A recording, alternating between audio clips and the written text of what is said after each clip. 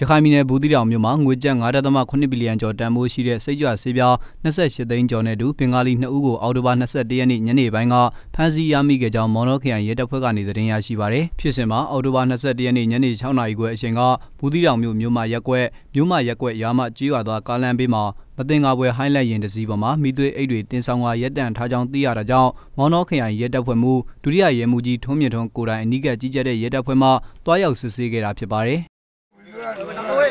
Ôi, mong muốn đâu đâu. Dạ, dạ, đi thôi đi, đi thôi đi, mình đi. Một cục bắn đi. Coi bắn đi. Mẹ à. Dạ,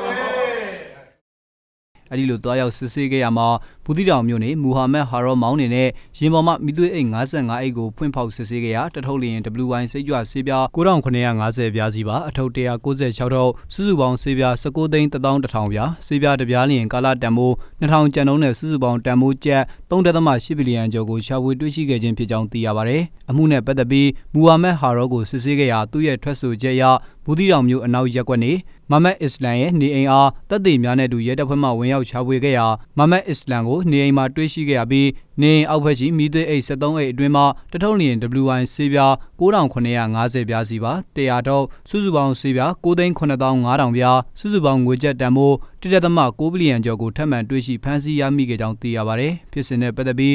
WY စိတ်ကြွဆေးပြားစုစုပေါင်း28သိန်းကျော်ကာလတန်ဖိုး9.8ဘီလီယံကျော်ကိုရှာဖွေဖမ်းဆီးမိခဲ့ပြီးမူဟာမက်ဟာရောနဲ့မမတ်အစ္စလမ်တို့ကိုအမှုဖွင့်အရေးယူဆောင်ရွက်နေတယ်လို့မော်နောခရိုင်ရဲတပ်ဖွဲ့မှသိရပါတယ်